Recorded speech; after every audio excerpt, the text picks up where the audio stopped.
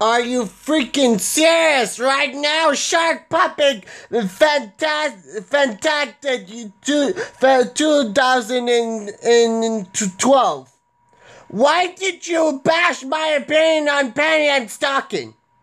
You know I have the rights to hate Panty and Stocking, whatever I want, because it's my opi- it's it's my uh, choice, and and and as for and you should handle my opinion on on Panty and Stocking.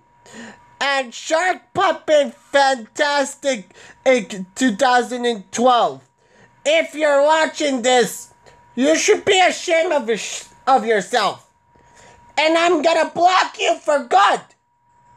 And of call out.